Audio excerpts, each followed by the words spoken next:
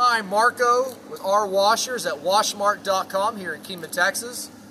We manufacture hot water pressure washer trailers. And what we have today is going to be a six foot wide by 16 foot tandem axle trailer.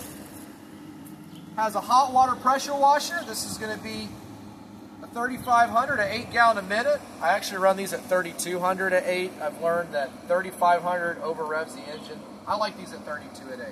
Just personal preference, to each their own.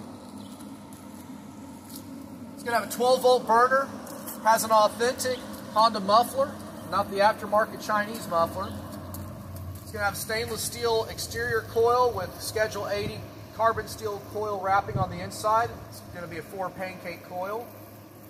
Then we have a soft wash system on here. This is going to be a gas-powered diaphragm system. It's going to be with the Comet P36 pump with the Kohler SH265 engine. This is going to be the electric Titan reel. I believe this is going to be the 5522E if I'm not mistaken. And it's pretty simple. It's connected to the battery of the power washer. You push this button and it reels it for you. It's a really good labor saver. It's also a good back saver for you guys that are reeling over and over and doing large volumes of work and your employees are complaining about backache from having to reel constantly. This has been something that I'd never really believed in originally, but some of our customers absolutely believe in this and they love it and they have never went to anything else. And after testing it, I actually have to admit I actually kind of like it. So then on the back, we have the 325 gallon water tank. And we also have the 100 gallon mixing tank. Now we have plumbing done a little differently on this because of the gas powered soft wash system, it is going to have a bypass. And so some people want to be able to change what their bleach measurements are, are in the container. So we have a check valve installed so the bleach doesn't go back into the water tank, but you can actually have more water going into your soft wash system. Or you can have more or less bleach going into your soft wash system. So that's going to be what we did here. And the check valve is just to make sure that we don't have bleach contaminate our water tank. And if we don't want water to go into the bleach tank, we simply just close this valve. Or we leave it open so that we can have the water flow in. Now, the back, very cut and dry. We have three reels. These are going to be the Titan 3012s.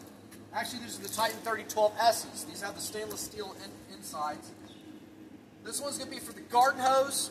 This one is going to be for the pressure hose. And this one's also going to be for the pressure hose. Our customer wanted this adaptation in case he wanted to run this at 3,000 at 4 times 2, so he can split it two guns. That was the purpose of having a second reel on here. Then we have a Whisper Wash, big guy, 28 inch surface cleaner.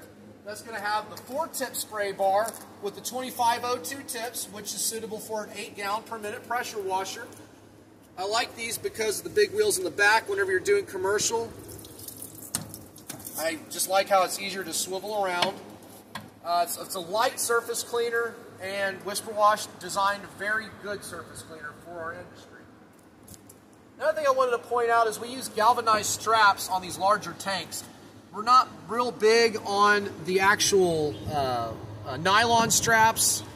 Whenever you have this much water in there, we like something that's a little more durable. Some people consider it overkill. We consider it precautionary. But this is going to be a feature that we like to put on our bigger water tanks. They're the galvanized straps that are bolted on, so it keeps it on here and it's very rigid. We also put on here a one inch Hudson float valve. The flow valve is so that no more additional water can exceed the height of the tank so you have water spilling out. In the city of Houston, that can actually be a city ordinance violation, so you wouldn't want that to happen. It's also just a waste of water, so that's going to be the advantages on that.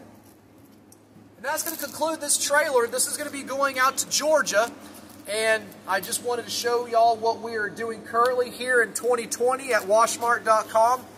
Uh, we also build Kubota diesel engine pressure washers. We build uh, 5000 F5 industrial pressure washers for the oil and gas industry.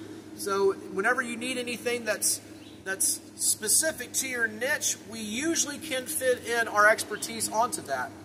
I appreciate you watching the video. Have a good day.